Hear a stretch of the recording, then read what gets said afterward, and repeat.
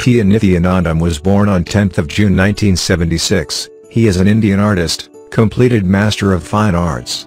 Art is a huge ocean of possibilities and he learned numerous skills such as painting, sculpture making, visual communication, fashion, sketching, photography and many more.